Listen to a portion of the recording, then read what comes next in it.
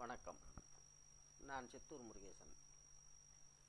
வழக்கமாக வந்து எல்லாமே சீரியஸான சப்ஜெக்டாகவே போயிட்டுருக்கு நம்ம சேனலில். இன்றைக்கி ஒரு மாறுதலுக்கு ஒரு கதை. அதுவும் வந்து இந்த ஜோதிடம் சம்மந்தப்படுறாப்புல ஒரு கதை சொல்ல போகிறேன் கதைங்கிறது வந்து என்னடான்னா நம்மளோட ஜீன்ஸ்லேயே இருக்குது நாமெல்லாம் வந்து கற்கால மனிதர்களாக இருக்கும்போது காலையில் சூரியன் உதித்ததும் அப்படியே கும்பலாக கிளம்பி போகிறது கிடைச்ச வேட்டையெல்லாம் பார்த்துக்கிட்டு சூரியன் மறைகிறதுக்குள்ளே இந்த குகைக்கோ எங்கேயோ வந்து சேர்ந்துருவோம் சேர்ந்த பிறகு இருட்டில் வந்து பயம். எல்லாரும் தூங்கி விட்டோம்னா பாம்பு வரும் இல்லை வேறு சில மிருகங்கள் வந்து அட்டாக் பண்ணலாம். அதுக்காக நெருப்பை வளர்க்கணும். அந்த நெருப்பை அணைந்து விடாமல் பார்த்துக்கிறதுக்கு ஷிஃப்ட் சிஸ்டம் இருந்திருக்கும் போல். ஒரு கூட்டத்தில் நாலு பேர் அந்த நெருப்பை சுற்றி உக்காந்துட்ருப்பாங்க உக்காந்துக்கிட்டு எதையோ ஒன்று பேசி ஆகணும் எல்லாம் தூக்கம் வந்துடும்ல அப்படி ஆரம்பித்தது தான் கதை. அதே போல் இந்த கதை அப்படிங்கிறது என்னடான்னா இந்த சம்பவங்கள் சம்பவங்கள் நடக்கும்போது ரொம்ப ஷாக்கிங்காக இருக்கும். நல்ல மேட்ரு கூட மின்னலாக மறைஞ்சிரும். அதை வந்து மறுபடி எடிட்டிங் எடிட்டிங் பண்ணிக்கிறது. அதுதான் வந்து கதையாக வந்திருக்கணும்னு நினைக்கிறேன். வந்து நம்ம நண்பர் ஒருத்தர் இருந்தார். அவர் வந்து எப்படின்னா சினிமாவுக்கு போவார். போனார்னா எத்தனை மணிக்கு மணி அடித்தான் எத்தனை மணிலேருந்து எத்தனை மணி வரைக்கும் ஸ்லைடு போட்டாங்க? என்ன ட்ரெய்லர் போட்டாங்க? எத்தனை ஃபேன் ஓடிச்சு? இடையில் தேட்டருக்காரன் எத்தனை ஃபேனை நிறுத்திட்டான்? எல்லாத்தையும் சொல்லுவார். அதெல்லாம் வேறு ரேஞ்சு இதான் வந்து இந்த கதைக்கு இருக்கக்கூடிய ஒரு பின்னணி. இப்போ வந்து ஒரு கதை ஜோதிட கதை. இது உங்களில் பலருக்கும் தெரிஞ்சும் இருக்கலாம். இந்த வராகமிரர் இவர் வந்து பெரிய ஜோதிட மேதை. இவர் வந்து ஏதோ புஸ்தகம்லாம் எழுதியிருக்கார். அவரை பற்றி ஒரு கதை. வந்து ஒரு ராஜாவுக்கு குழந்த பிறக்க போகுது. அதுக்காக எல்லா ஜோசியரையும் வர வச்சிட்டாங்க ஏன்னா குழந்த பிறந்த உடனே ஜாதகம் எழுதணும்ல. அதுக்காக. அப்படி இருக்கும்போது இப்போ குழந்த பிறந்துருச்சு அப்படின்னு எப்படி மேட்டருக்கு வெளியே வர்றது?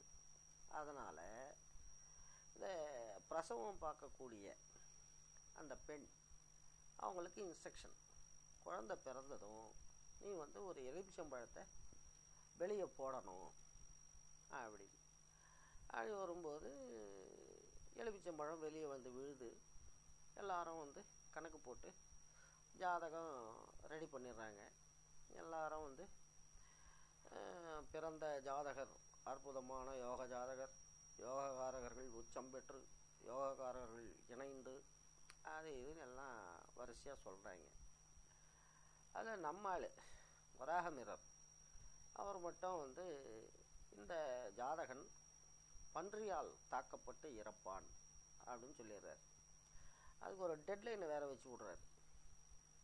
அதே ராஜாவுக்கு வந்து செம கடுப்பாகி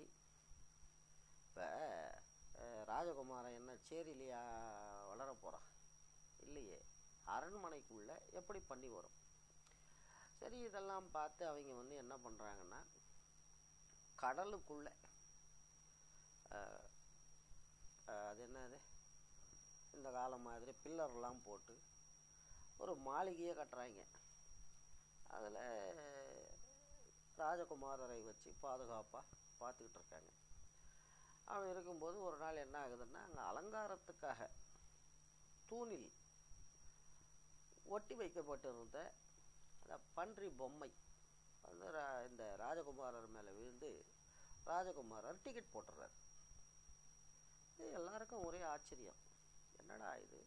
எல்லாரும் ஒரே நேரத்தை வச்சு தானே ஜாதகம் கணித்தோம் இந்த ஆள் சொன்னது மட்டும் நடந்தது. நாம் சொன்னது நடக்கலையேன்னு. அது கேட்குறாங்க கேட்டால் அவர் வந்து சொல்கிறாரு நீங்கள் எலுமிச்சம்பழம் வெளியே வந்து விழுந்த நேரத்தை தான் வந்து நீங்கள் குறிச்சிக்கிட்டீங்க. ஆனால் அந்த எலுமிச்சம்பழம் வந்து முதல்ல ஜன்னல் கதவில் பட்டு அது ரிட்டன் உள்ளே போயிடுச்சு. அதுக்கப்புறம் அந்த அம்மா மறுபடியும் எடுத்து போட்டாங்க. அதில் வந்து ஏதோ மாறி போச்சு அப்படின்னு சொன்னாராம். இது ஒரு கதை. இதை வந்து கதையாக பார்க்குறீங்களோ இல்லை இதை வச்சு நிறைய ஆராய்ச்சிலாம் பண்ணலாம். வந்து இந்த குழந்தைகளுக்கு ஜாதகம் கணிப்பது. இதை வந்து ஒரு காலத்தில் வந்து கர்ப்பதான முகூர்த்தம் அப்படின்னு வச்சாங்க. இப்போ வர பஞ்சாங்கத்தில் கூட இருக்கும்னு நினைக்கிறேன். அதாவது வந்து பெண் குளித்து சுத்தமாகி அது ஏதோ இதெல்லாம் கொடுத்துருப்பாங்க ரூலெல்லாம் அந்த மாதிரி ஒரு கரு உருவாகக்கூடிய நாள் நேரம். அதில் வந்து கில்மா பண்ணி அந்த நேரத்தை குறித்து வச்சுக்கிறது. அதான் கர்ப்பதான முகூர்த்தம். அதான் பர்ஃபெக்ட்டு அப்படிங்கிறாங்க. அதுக்கப்புறம் அப்புறம் என்னடா ஆகுதுடான்னா இந்த கேல்குலேஷன்ஸ் இதெல்லாம் அந்த அளவுக்கு டீப்பாக போக முடியாத குறைக்கு குழந்தை பிறக்கும்போது சிரோதயம் அப்படின்னு வைக்கிறான். சிரோதயம்னா தலை தெரியறது. அதை வச்சு உடனே நேரத்தை குறிச்சிக்குது இப்போ தற்போதைக்கு நாம் ஃபாலோ பண்ணிக்கிட்டு இருக்கிற நேரம் எதுன்னா குழந்த பிறந்து தொப்புள் கொடி வெட்டி அதை தொடச்சி இந்த நர்ஸு அந்த குழந்தைய தலைகிழா பிடிச்சி ரெண்டு ஆட்டு ஆட்டி அது புட்டத்தில் பழையர்னு ஒன்று விட்டு அது வீருன்னு அலறும் பாருங்க அந்த நேரம். அந்த நேரத்தை வச்சு தான் இப்போ ஜாதகம் கணிக்கிறோம். இந்த கதையும் ஆராய்ச்சியும் போதும்னு நினைக்கிறேன். இன்னொரு பதிவில் இன்னொரு கதையோடு வரேன். நன்றி வணக்கம்.